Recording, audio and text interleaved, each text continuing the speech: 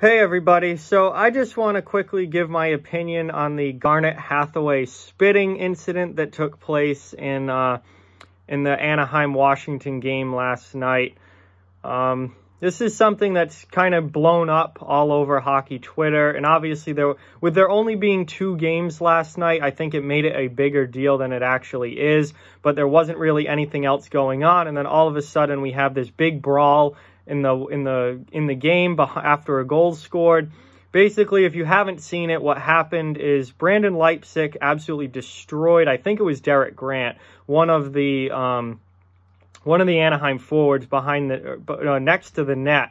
Uh, clean hit, absolutely laid him out. Then he got jumped by like three Anaheim Ducks. And at this point, it's it's your pretty typical NHL Donnybrook. You know, got huge hit. Guys jump in to protect their teammate all of a sudden, you know, it's a five on five, everybody grabs a partner.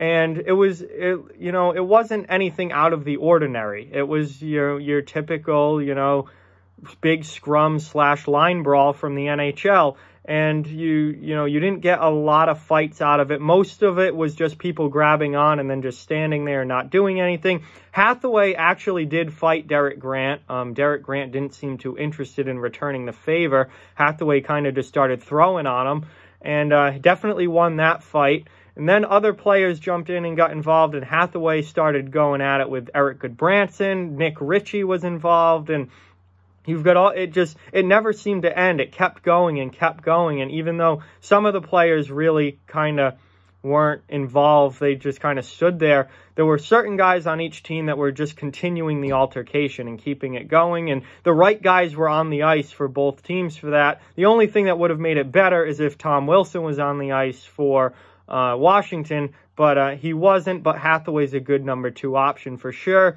So anyway, Hathaway's being restrained by the ref. He and Gudbranson are kind of going at it after he's already fought uh, Derek Grant. And through, you know, everything going on, Hathaway ends up spitting right in the face of Derek Grant. Or not Derek Grant, Erik Gudbranson. And Gudbranson's obviously pissed off at this, does not take kindly to it, tries to throw a punch at Hathaway, but the, the refs are in and the linesmen are there. Hathaway ends up getting tossed, gets a match penalty for the for spitting on him, and, and gets thrown out of the game. And there's it just it's it blew up on Twitter and Facebook and everything, and everyone was talking about this Derek or this uh, Garnet Hathaway spitting thing. And there's been talk about whether or not he would be suspended or not. And you know, it's gross and it's a douchebag move. It is a douchebag move on Garnet Hathaway's part to spit in anyone's face.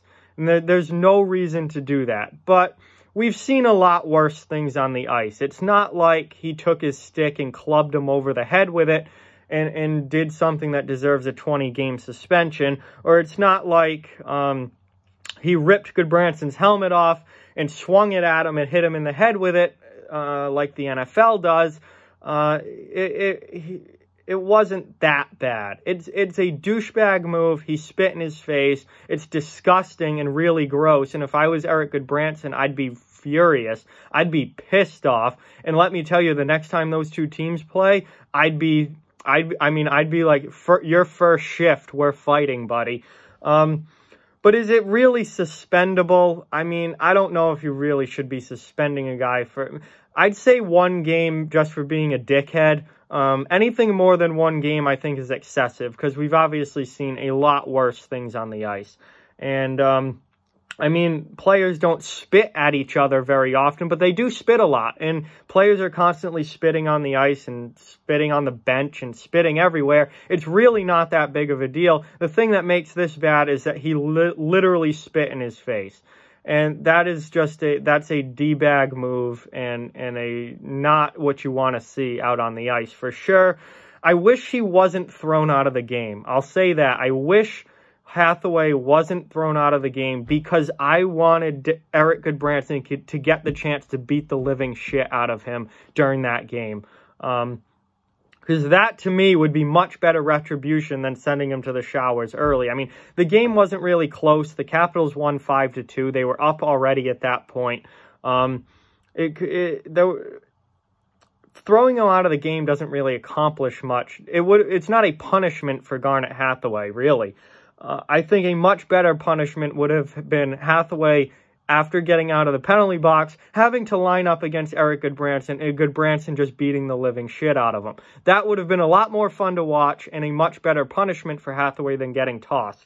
So, Again, I don't know if he gets suspended or not. He might get a game. I think if, if the league gives him anything more than a game for this, that's just excessive and, and kind of ridiculous. I mean, we've seen a lot worse things happen in a hockey game than someone getting spit on. But I do want to say it's a huge douchebag move from Garnet Hathaway. Um, and, and not something that I would take kindly to, not something that if anyone did that to me, I can guarantee you I'd be throwing punches with you on the spot and Gudbranson tried to, but the refs were already there and in the way. Um, eh, eh, and it's just it's it's gross, it's disgusting, and it's needless. And and there are better ways to deal with things than by spitting in someone's face, to say the least. So Hathaway, that was a D-bag move, my friend. I like Garnet Hathaway as a player. He's a great bottom six player. He brings energy. He's He hit anything in sight. He's not afraid to drop the gloves.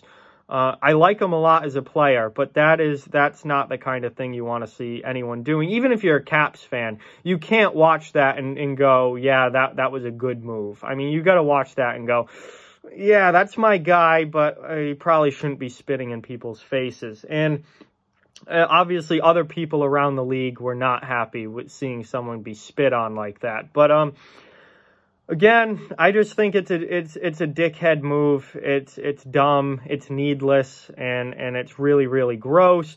But I don't think it's anything particularly dangerous or excessive that deserves a long suspension or anything like that. So I think at most Hathaway gets a game for just being a moron and then he should be back into the lineup. Um, he might not get suspended at all, and I wouldn't have a problem with that either. Maybe just fine him. I, I don't think this is anything that needs to, to be handled by suspension, and it's probably not the first time we've seen players spit at each other in a, in a hockey game. I'm, can't think of any particular incidents off the top of my head, but I'm sure that this is not the first time that players have spit each other at each other in a hockey game. So that's just my opinion. I think uh, no suspension or one game I would be fine with. Uh, anything more than that is too much. Um, we've seen a lot worse, but again, D-bag move, not not what you want to see, and uh, I, I, definitely should be fined. Definitely should be fined and told, you know, sh shown that this kind of behavior is not acceptable on the ice. But with that, like, comment, share, subscribe, follow on social media. All those links are down in the description below. If you'd like to further support the channel, the links to our Patreon and merchandise store are down in the description as well. Keep spreading the word about this channel. Let's keep this thing growing. Thank you very much for watching. Hope you enjoyed the video, and I'll talk to you guys soon.